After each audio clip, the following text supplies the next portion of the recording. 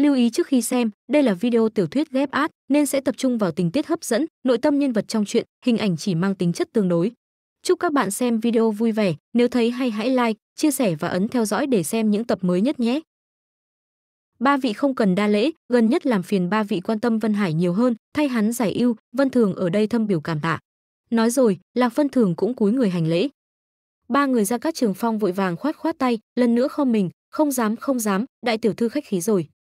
Nguyệt Nhi đến bên Lạc Vân Hải, quan tâm nói, phu quân, vừa rồi lôi tỷ tỷ trở về nói, trận danh bên đối phương lại có động tĩnh khác thường, chỉ sợ chẳng mấy chốc sẽ hành động, không biết phu quân có đối sách gì chưa. Lạc Vân Hải nhìn ba người ra cát trường phong, mọi người đều lắc đầu, liên tục cười khổ. Nguyệt Nhi thấy vậy liền trầm ngâm, đột nhiên hiện vẻ mặt vui cười, an ủi, phu quân chớ có quá lo lắng. Dương Nhi tỷ tỷ đã trở về từ tổ địa, cầu hỏi lão tổ tông anh linh kết quả chiến sự, nghe nói rất linh, có lẽ trời cũng giúp chúng ta.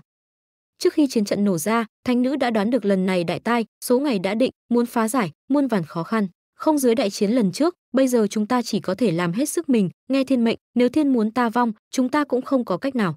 Lạc Vân Hải cười khổ lắc đầu, giọng điệu có phần hơi xuống dốc. Nguyệt Nhi vội vàng khoát khoát tay khuyên nhủ, phu quân chớ gấp, Sương Nhi tỷ tỷ nói tổ lão tổ tông dự đoán số ngày sẽ còn chuẩn hơn nàng, có lẽ sẽ có cơ hội chuyển mình, phu quân chớ có nhu trí. Còn nữa, nguy nan lần trước không phải đã được giải quyết sao? Đó là bởi vì có Trác đại ca, thánh nữ nói hắn là người bên ngoài thiên mệnh, có thể cải thiên nghịch mệnh. Lần này, những phàm phu tục tử chúng ta sao có thể đấu với trời? Nghe đến hắn, trong lòng mọi người đều trầm xuống, vô ý thức gật đầu. Tuy mấy người ra các trường phong không tin mệnh số, nhưng theo thế cục trước mắt lại chỉ có thể tin số mệnh, bởi vì bọn họ căn bản không còn sinh cơ nào nữa. Bất kể như thế nào, cứ chờ kết quả từ Sương Nhi, nếu thật sự thiên mệnh khó trái, chúng ta vẫn phải làm hết sức mình, đấu với trời cũng phải đấu. Lạc Vân Thường bình tĩnh nói, mọi người đều kiên định gật đầu. Bạch, đúng lúc này, màn trứng lần nữa hất ra, Vân Sương vội vàng đi đến, thở hổn hển nói, có một đường sinh cơ đang sinh ra, thiên tượng có biến. Trong mắt Vân Sương hiện ra vẻ hy vọng, sau khi thở hổn hển, mới nói rõ, ta đến tổ địa, lúc đầu anh linh lão tổ quan thiên tượng, thấy toàn là tử cục, nhưng về sau thiên tượng đột nhiên đại biến. Có một cỗ lực lượng không rõ đang thay đổi thiên tượng, có một đường sinh cơ trong tử cục, một trận chiến này, chúng ta có lẽ vẫn đánh được. Lạc Vân Hải run giọng hỏi, "Thánh nữ, ngươi nói lời ấy là có ý gì?" Ta nói là, giống hệt lần đại chiến trước đó, lại có một người ở bên ngoài thiên mệnh đang cải thiên nghịch mệnh. Lần chiến sự này có lẽ sẽ có cơ hội khác. Lạc Vân Hải quá sợ hãi thốt lên, lại có người bên ngoài thiên mệnh giống như chát đại ca, còn nhúng tay chiến sự lần này. thánh nữ, ngươi không phải nói người bên ngoài thiên mệnh gần như không tồn tại, chát đại ca là dị loại sao? Làm sao nhanh như vậy lại xuất hiện một người khác?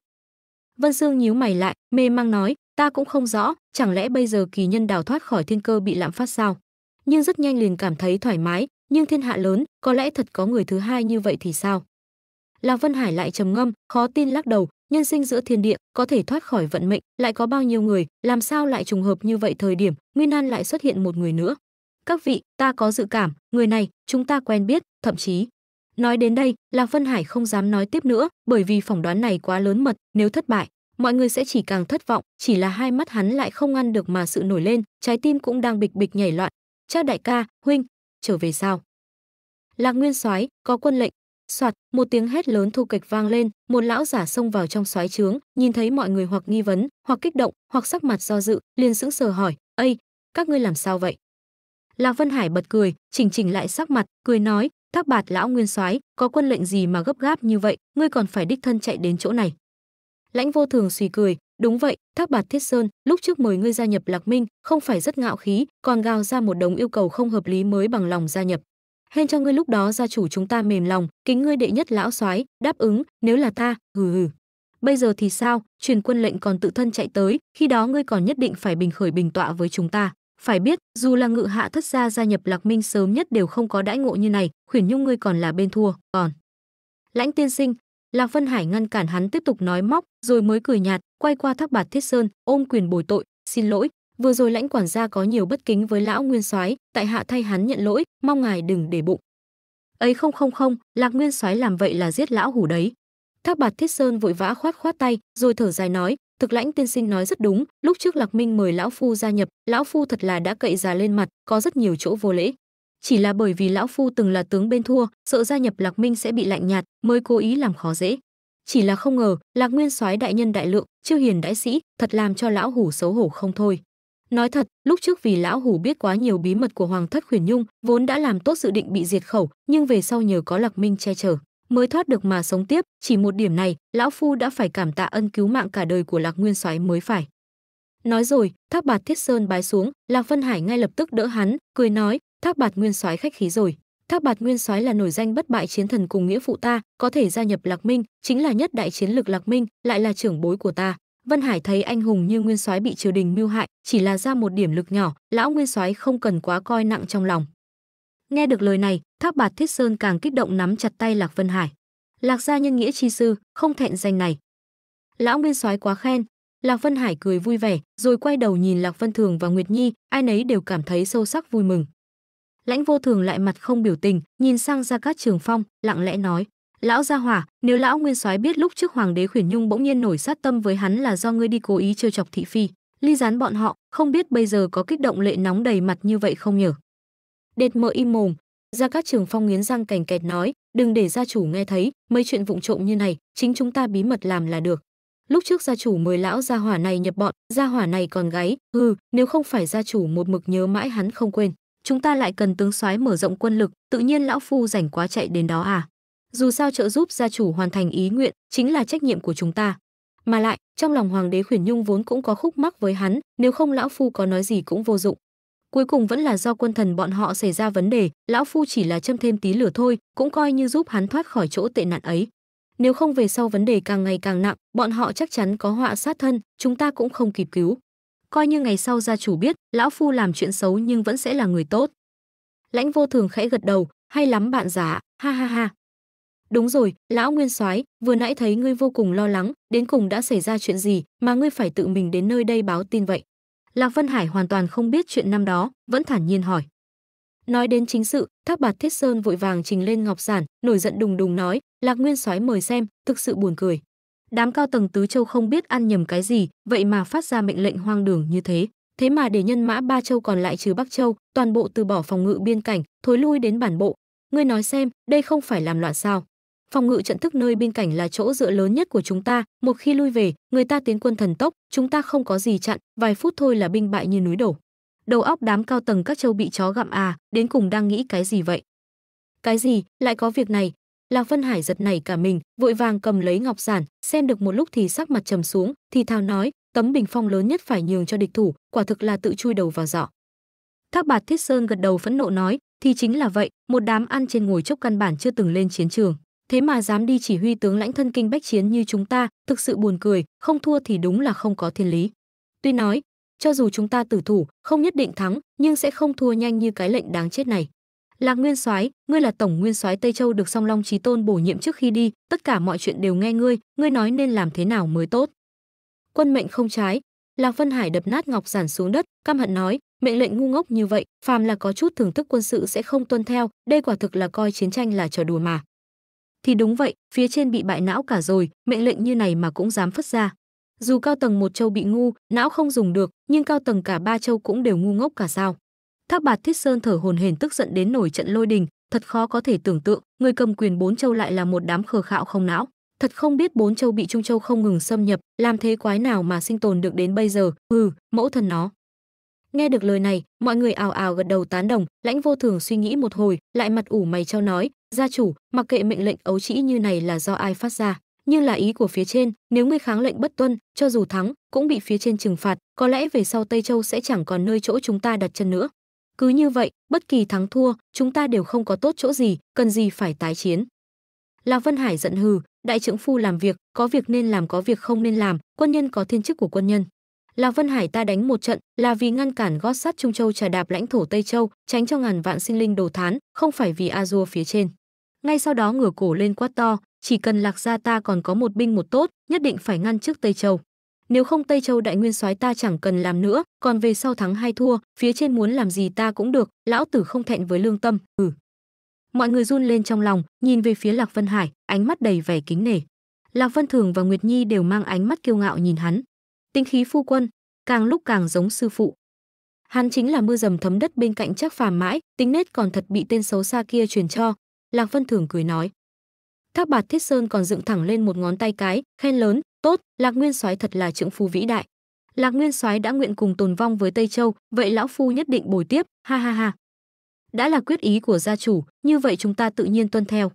Tam đại trí tinh liếc nhìn nhau, lòng đầy bội phục, khom người nói, chỉ là gia chủ cương trực không thiên vị, thà bị gãy chứ không chịu cong, nhưng chúng ta lại không thể để gia chủ bởi vậy gặp rủi ro. Năm đó chắc quản gia lưu lại chúng ta chính là có ý đồ này, việc gia chủ không muốn làm, chúng ta đi làm, cả việc hòa giải với bên trên phải do chúng ta làm.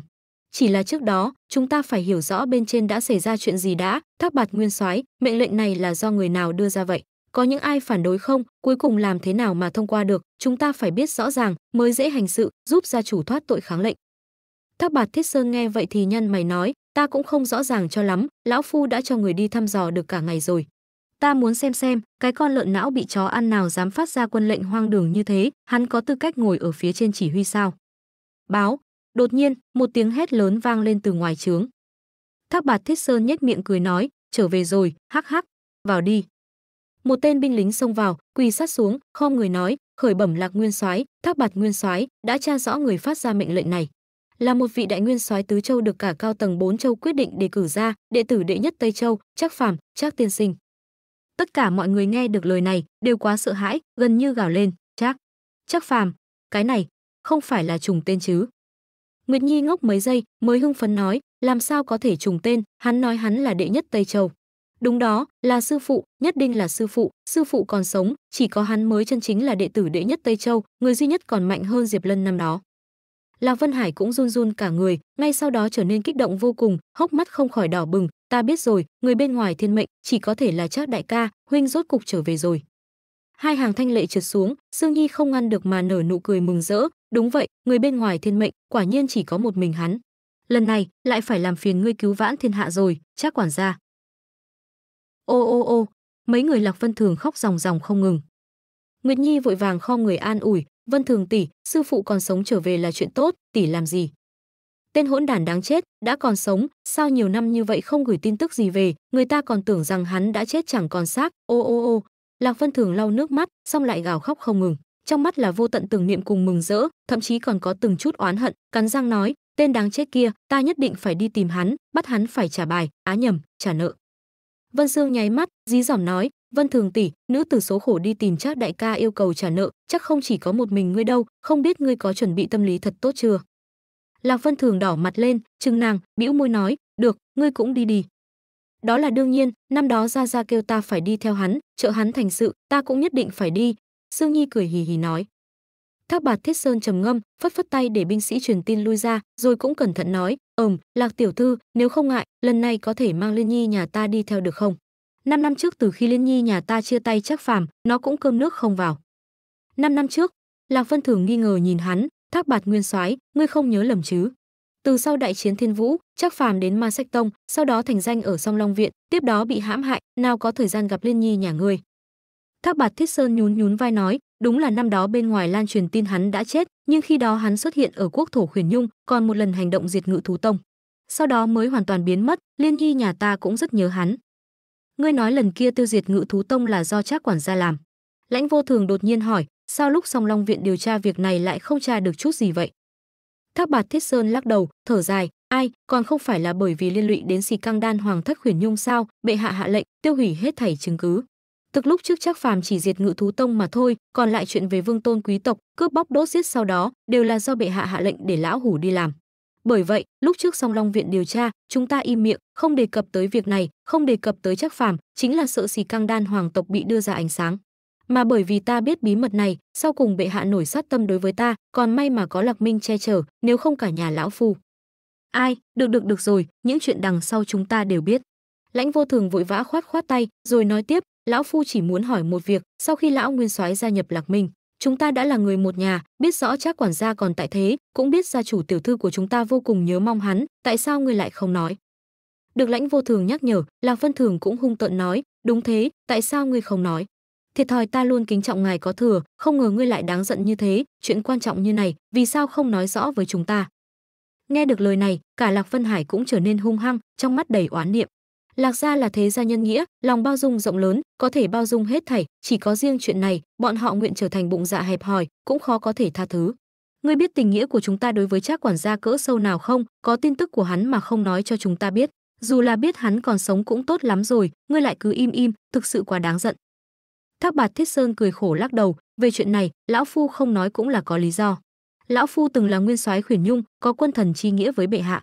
Hắn đối với ta bất nhân, nhưng ta không thể đối với hắn bất nghĩa. Nếu ta nói ra chuyện về chắc phàm, tất nhiên sẽ dẫn ra chuyện hoàng thất khuyển nhung năm đó, giao động nền tảng lập quốc. Lão phu cả đời vì nước, sao lại có thể làm ra chuyện bất nghĩa như thế? Thứ hai lão phu thấy chắc phàm khi đó đã có ý quy ẩn hắn cứu hai đứa nhi tử của ta có ân với lão phu cho dù hắn không nói lão phu cũng không tiện nhắc về hắn với người khác. Nghe được lời này mọi người mới thoáng dịu lại khẽ gật đầu. Đây là lão nguyên soái nhân nghĩa mà hành sự mọi người có thể thông cảm. Nhưng lạc vân thường vẫn cứ hận thấu xương khó có thể tha thứ đầy nộ khí nói "Hừ, người khác thì thôi nhưng ngay cả ta mà ngươi cũng gạt thì không được. Thác bạt nguyên soái ngươi biết những năm này ta vì cái tên nhẫn tâm đó mà khóc hết bao nhiêu nước mắt không? Thác bạt thiết sơn khom người cúi đầu, vậy lão hủ thật là có lỗi với tiểu thư, ha ha ha. Được rồi, chuyện cũng đã qua, chắc đại ca cũng trở về, bỏ qua đi. Lạc vân hải xua tay giảng hòa, tránh cho tỷ tỷ lại đau buồn, bèn nói tránh đi à đúng, vừa rồi chúng ta nói đến đâu nhỉ? Ừm, mệnh lệnh này, thật đúng là. Thâm bất khả chắc, hắn lời còn chưa dứt, thác bạt thiết sơn đã nói ngay. Lãnh vô thường bật cười, thác bạt nguyên soái, không phải ngài vừa mới nói đây không biết là mệnh lệnh của tên não tàn nào sao? Còn không phải do ta không biết xuất xứ của mệnh lệnh này sao? Thác bạt thiết sơn rất thản nhiên nói, nếu người khác hạ loại mệnh lệnh này, đây tuyệt đối là não bị chó ăn. Nhưng chắc phàm không như vậy, lão phu từng cùng hắn giao thủ, biết do hắn thần kỳ bực này, binh hành hiểm chiêu, có ai ngờ được hắn đang nghĩ gì. Cho nên lão phu cảm thấy mệnh lệnh này nhất định có dụng ý thâm thúy, thâm bất khả chắc. Gia cát trường phong mỉm cười nói, lão nguyên soái, ngài nhìn ra được điều này cũng thật là thâm bất khả chắc đấy không không, lão phu không nhìn ra gì cả, mà bởi vì nhìn không ra, mới thâm bất khả chắc đó. Nếu chúng ta dễ dàng biết rõ ý đồ của hắn, vậy chẳng lẽ địch nhân kia không biết?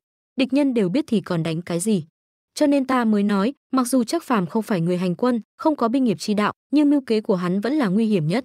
Mọi người ở đây đều rất đồng cảm với lời này, thác bạt thiết sơn thấy thế thì nhíu mày nói, tam đại trí tinh, chẳng lẽ các ngươi nhìn ra được gì sao?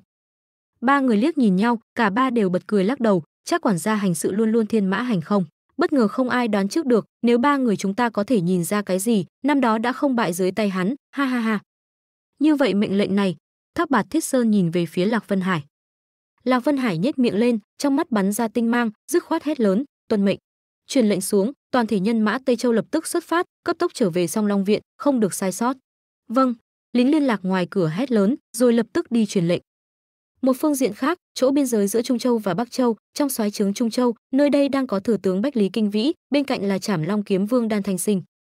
Bách lý kinh vĩ cười khẽ nói, trảm long kiếm vương, để ngài đến lĩnh quân tấn công bắc châu, hẳn là như ngài mong muốn ha. Có ý gì? Đan thanh sinh cười nhạt hỏi. Bách lý kinh vĩ bật cười lắc đầu, khoan thai nói, kiếm vương đến từ tây châu, vốn là cực kỳ quen thuộc tây châu, để ngài đến tấn công tây châu là sắp xếp thỏa đáng nhất chỉ là bản tướng biết kiếm vương còn có lưu niệm với tây châu, sợ ngài xúc cảnh sinh tình, gặp phải lão bằng hữu mà khó xử, nên để cho người khác đi. Nào giống như phi vân kiếm vương, vừa nghe nói muốn khai chiến, lập tức tự đề cử mình muốn đi đánh đông châu. Có thể thấy hắn hận đông châu thượng quan ra đến thấu xương, có lẽ cũng có ý đồ muốn áo gấm vinh quy, như thể không đích thân tiêu diệt là không được, ha ha ha. Ha ha ha, bách lý thừa tướng quan tâm như thế, thật là khiến cho chúng ta sợ hãi. Đan thanh sinh thản nhiên nói chỉ là thừa tướng đại nhân chú binh tại bắc châu lâu như vậy, còn chưa động thủ, là đang chờ cơ hội tốt gì sao? Bách lý kinh vĩ khẽ gật đầu nói, không sai, lão tổ tông đã đến bắc châu từ lâu, chỉ là ẩn núp không ra, bản tướng chờ một cơ hội nội ứng ngoại hợp, một lần hành động đoạt lấy nó, ha ha ha. Hắn vừa dứt lời, từ bên ngoài truyền đến tiếng hét lớn, báo. Ngài nhìn xem, thời cơ đến rồi.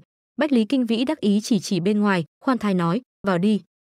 Soạt mảnh lều bị nhấc lên, một tên lính đi vào, khom người bái hạ, rồi giơ một ngọc giản nói, đến từ thám tử, có quân tình quan trọng cần bẩm báo. Nơi này không có ngoại nhân, nói đi. Bách lý kinh vĩ tùy tiện cầm mỹ tử trên bàn, khẽ nhấp một ngụm, rồi thản nhiên nói, có phải kết giới hải minh tông đã phá hay không? Ha ha ha, như vậy thì lão tổ tông xuất thủ sẽ thuận lợi hơn. Người kia sững sờ, rồi sau khi trầm ngâm một hồi, mới khom người nói, khởi bẩm thừa tướng đại nhân, kết giới của hải minh tông đúng là đã phá, phong thiên kiếm bị cướp đi nhưng theo tin tức trong ngọc giản này thì lại không phải do lão tổ tông phá mà là do một đám người khác gây nên. Bách lý kinh vĩ dừng chén rượu trong tay ngạc nhiên nói há còn có người khác có ý đồ với phong thiên kiếm? Ngay sau đó lại bật cười không có gì đáng ngại chỉ cần kết giới kia bị phá bọn họ sẽ không thể làm con rùa đen rút đầu nữa người nào phá hư cũng không quan trọng. Dù sao lão tổ tông đã xuất mã, nhất định có thể đoạt lại được phong thiên kiếm, ha ha ha. Người kia run run, lại sững sờ nói, nhưng người truyền về ngọc giản này không phải là vì báo tin, mà chính là muốn thừa tướng đại nhân đề cao cảnh giác. Người đoạt kiếm là một kẻ cực kỳ thông tuệ, ba ngày trước vẫn là tù nhân, nhưng dăm ba câu đã khiến cho trên dưới cao tầng bốn châu nhất trí tôn sùng. Hiện đã được đề cử làm đại nguyên soái tứ châu, tổng lĩnh toàn cục bốn châu. Hắn nói người này rất có thể là địch thủ lớn nhất của thừa tướng đại nhân, muốn thừa tướng đại nhân cẩn thận cho thỏa đáng. Địch thủ lớn nhất của ta, Bách Lý Kinh Vĩ suy cười, Bách Lý Kinh Vĩ ta ngang dọc năm châu nhiều năm như vậy, kẻ có thể khiến ta coi là địch thủ ít càng thêm ít. Lúc nào mà địch thủ của ta cần một tên mật thám báo cho ta biết, còn kêu ta cẩn thận. Ha ha ha, hoang đường, đúng rồi, hắn có nói người kia là ai không? Người kia thở sâu một hơi, bình tĩnh nói, hắn nói người kia vốn là đệ tử đệ nhất Tây Châu, chắc phàm. Từng có giao thủ với ngài ở Trung Châu, dùng tên giả là cổ nhất phàm. Cái gì, chắc phàm, cổ nhất phàm, Bách Lý Kinh Vĩ trợn to mắt, chờ xuất ra một ngọc giản khác, vẻ mặt trở nên điên cuồng, ta phái người đến Tây Châu tìm hiểu, xem có nhân vật nào là cổ nhất phàm hay không, lại chỉ dò thăm được một thiên tài xuất chúng, chắc phàm. Quả nhiên, hai người này là cùng một người, ha ha ha. Rất tốt, quả nhiên là một đối thủ tốt, chúng ta lại gặp mặt. Như vậy lần này chúng ta muốn xem, vận mệnh Nam Châu, đến cùng là hưu chết vào tay ai, lão đối thủ của ta. Hai tay già nua khẽ run lên, Đan Thanh Sinh nghe đến tin tức này, đầu tiên có chút sững sờ, tiếp đó khóe miệng nhếch lên nụ cười lạnh nhạt, lại nhìn về phía Bách Lý Kinh Vĩ, nhàn nhạt, nhạt nói, thế nào, lần này thống soái bên đối phương là cổ nhất phàm sao? Đúng vậy, phải gọi là chắc phàm mới đúng, ha ha ha. Chậm rãi dựa ra thành ghế, Bách Lý Kinh Vĩ thở dài một hơi, trong mắt lóe ra ánh sáng hưng phấn. Đan Thanh Sinh nhếch miệng cười, thở dài sâu xa nói, thật sự khó có thể tưởng tượng được, không ngờ hắn còn sống, lần này lại còn là đối thủ của chúng ta. Xem ra tiểu tử lúc trước ngài luôn muốn dồn vào tử địa, hiện tại biết được hắn chấp trưởng binh quyền bốn châu lại cảm thấy vui vẻ. Đúng vậy, lúc trước muốn diệt trừ hắn triệt để, bởi vì hắn nguy hiểm. Sau đó nhìn thấy hắn bị chết trước mặt, bản tướng lại thấy buồn bã, cũng có chút tiếc nuối. Một đối thủ tốt như thế, bình sinh cũng chỉ gặp được một lần, lại không thể công bằng mà đọ sức một phen, thật sự là chuyện đáng tiếc nhất của đời người. Có điều rất nhanh, ta lại biết được hắn vẫn chưa chết, tuy có chút không cam lòng, nhưng hưng phấn chờ mong nhiều hơn. Không nghĩ tới nhanh như vậy, chúng ta lại có dịp giao thủ, mà lần này nhất định sẽ đấu một hiệp công bằng. Kiếm tinh đối bốn châu, trừ cao thủ hiếm có, hầu hết thực lực tương đương, hiện tại trận thức đã bày, chỉ xem hai người chúng ta mỗi người ra chiêu thế nào, ha ha ha. Tuy nhiên, nhìn thế cục trước mắt, thừa tướng đại nhân vẫn chiếm ưu thế hơn đối phương một bậc. Thậm chí, chỉ sợ không tới hai, ba bước, đại nhân đã có thể là làm chủ tình thế. Mà hắn e là còn phải tiến hành rất nhiều trình tự mới có thể tạm thời đuổi kịp bố cục của đại nhân. Trận chiến này, từ khi vừa mới bắt đầu, thắng bại như đã quyết định, hắn muốn trong thời gian ngắn thay đổi càn khôn, có chút khó khăn. Nhìn hắn ta, Đan Thanh Sinh khẽ cười, thản nhiên nói. Nhếch miệng cười một tiếng, Bách Lý Kinh Vĩ từ chối cho ý kiến, thế gian vốn không có gì tuyệt đối công bằng, hiện tại tuy thế cục là ta chiếm ưu thế nhưng quân cờ hai bên là không sai biệt lắm. Ta có một nghìn hắn cũng có 800, có thể chuyển nguy thành an hay không thì phải nhìn bản lãnh của hắn. Ha ha ha, đúng rồi, Trảm Long Kiếm Vương, ngươi cảm thấy lần này hai chúng ta ai sẽ thắng? Sao thừa tướng đại nhân lại hỏi vậy? Dù thế nào, hiện tại ta tự mình lãnh binh tấn công Bắc Châu, chẳng lẽ lão phu không muốn thắng sao? Đan Thanh Sinh nhìn hắn đầy ẩn ý. Bách Lý Kinh Vĩ thản nhiên nhìn hắn thật sâu bỗng dưng cười lớn, chậm rãi khoát khoát tay, trong mắt tinh mang lóe lên, lạnh nhạt nói, Trảm Long Kiếm Vương đừng nghĩ nhiều, bản tướng chỉ muốn ngài phân xét một chút, nghe câu nói thật lòng mà thôi. Dù sao lần trước tiểu tử kia cũng giả chết thoát khỏi bản tướng cùng Trảm Long Kiếm Vương, hắn vô cùng giảo quyệt. Đó cũng là lần thất bại khó quên nhất mà bản tướng gặp phải. Hai, đã bức hắn đến sắp chết, làm sao lại để cho hắn trốn chứ? Nói đến đây, Bách Lý Kinh Vĩ mỉm cười nhìn về phía Đan Thanh Sinh, nhưng nụ cười này trong mắt Đan Thanh Sinh lại vô cùng lạnh lẽo. Dù trong lời nói của Bách Lý Kinh Vĩ không có ý chỉ trích nhưng rất rõ ràng, trong lời nói có hàm ý, lúc đó hắn đã hoài nghi chắc phàm còn sống, cũng là Đan Thanh Sinh cản trở, không dò xét lại. Hai mắt già nua mờ mịt nhíu lại, Đan Thanh Sinh trầm mặc không nói, âm thầm suy nghĩ mà bách lý kinh vĩ cứ như vậy yên tĩnh theo dõi hắn, nụ cười trên miệng càng lúc càng quỷ dị. Báo nhưng đúng lúc này mot tiếng thét dài từ ngoài trướng truyền vào, ngay sau đó một tên lính liên lạc vội vàng xông tới, nhìn thấy hai người liền quỳ một chân xuống, tay nâng ba đạo ngọc giản, phá vỡ. Không gian tịch mịch này, khởi bẩm thừa tướng đại nhân, kiếm vương đại nhân, chiến trường ba châu đồng thời gửi tới ngọc giản. Binh ba châu đông tây nam đã biến mất toàn bộ trên đường biên giới, không biết tung tích, xin thừa tướng đại nhân cho chỉ thị vẫn chăm chú nhìn đan thanh sinh không buông, hoàn toàn không nhìn tên lính liên lạc kia, khóe miệng bách lý kinh vĩ bật cười ra tiếng nói, ba châu cùng lúc hành động, xem ra là tiểu tử kia ra chiêu. Trảm long kiếm vương, ngài thấy thế cục này thế nào? Binh mã ba châu đồng thời biến mất tại biên cảnh, giống như nhường kết giới biên giới cho chúng ta chúng ta có thể tiến quân thần tốc, thận trọng từng bước, một lần hành động thâu tóm ba châu trong tầm tay. Chậm rãi cầm chén rượu trên bàn khẽ thưởng thức, đan thanh sinh trầm ngâm một chút, lại khẽ lên tiếng, có điều, cách làm chui đầu vào dọ thật sự không giống lẽ thường đường biên giới vừa đột phá, các gia tộc tông môn trong ba châu, mỗi người đều khó khăn, tuyệt không thể thủ nơi địa hình hiểm yếu, có thể nói không có sức chống cự. Cho dù là người bình thường cũng sẽ không làm quyết định não tàn như thế, huống chi tên tiểu tử xảo trá kia. Cho nên lão phu cho rằng, trong này nhất định có bẫy. Bách lý kinh vĩ gật đầu, cười khẽ, không tệ chảm long kiếm vương nói rất đúng, một tên tiểu tử gian trá như hắn tuyệt không có khả năng làm chuyện hoang đường như thế, nơi này tuyệt đối có bẫy. Hoặc là nói tới đây, hai mắt bách lý kinh vĩ lóe lên tinh mang, lại nghĩ tới một loại khả năng khác, hoặc là hắn muốn để cho chúng ta nghĩ hắn đặt bẫy. Ồ, sao lại nói vậy? Binh pháp có nói giả cũng như thật thật cũng như giả nhếch miệng cười một tiếng, bách lý kinh vĩ khẽ lên tiếng, với binh lực ba châu, dùng sức đối chọi với chúng ta hoàn toàn không có khả năng, ít thì nửa năm, nhiều thì một năm, nhất định hạ được thế nhưng hiện tại hắn đang cố bày nghi trận, quấy nhiễu quân tâm chúng ta, để chúng ta hồ nghi bên trong có bẫy mà không dám vào, ngược lại mất thời cơ chiến đấu, để bọn hắn có thời gian bố trí. Có lẽ không có cái gì, cũng khó nói. Tỉ mỉ suy nghĩ một chút, đan thanh sinh khẽ gật đầu, nếu thật sự không có kế, chúng ta không có mắc lừa. Thật sự đuổi theo, không phải lúc này, tấn công và phòng thủ cường đại trong nháy mắt vứt bỏ, lại thất bại thảm hại. Loại mạo hiểm này đối với hắn thật sự quá lớn mà bên trong có bẫy thì sẽ có mai phục, một khi chúng ta tiến vào, sẽ mạo hiểm, bị tổn thất nặng nề cũng không phải không có. Cho nên, chúng ta nên nhìn hành động bước kế tiếp của hắn. Bước kế tiếp. Đúng, nhếch miệng cười một tiếng, bách lý kinh vĩ vô cùng tự tin, hắn muốn cùng ta đấu trí, thì tất yếu kích động tâm trí của ta. Chỉ là không thành kế, sẽ không đạt được hiệu quả, nhất định sẽ có chiêu sau. Xem xét chiêu sau của hắn, ta sẽ biết hắn muốn làm gì nếu bên trong thật có mai phục, hắn nhất định trăm phương ngàn kế kiến tạo dị tượng để ta mắc câu, nếu không. Báo. Thế nhưng lời hắn còn chưa dứt, một tiếng hét lớn từ bên ngoài trướng vang lên. Một tên lính liên lạc xông tới, vội vàng quỳ trước hai người, vội vã bái lại nói, thừa tướng đại nhân, cấp báo, bệ hạ truyền tin. Hiện tại các nơi ở trung châu nhấc lên bạo loạn, binh phủ thành chủ khó có thể áp chế, xin thừa tướng đại nhân phái binh nhanh chóng tiếp viện. Cái gì? Trung châu đại loạn? Khẽ giật mình, đan thanh sinh hoảng hốt lên tiếng, sao có thể?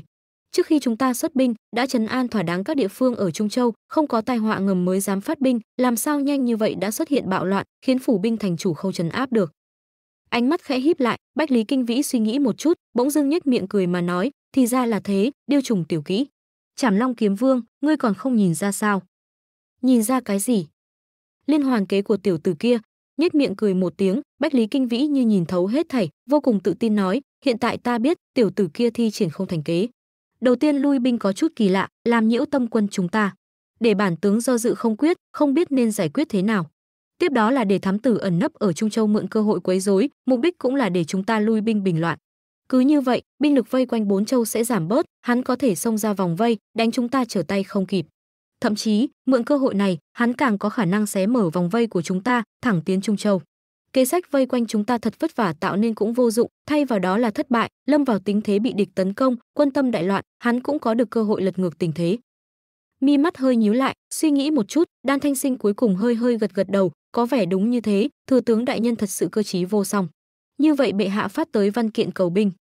Bẩm với bệ hạ, bảo hắn cố gắng gượng không quá một tháng, ta sẽ nắm được ba châu, rồi mang binh bình loạn.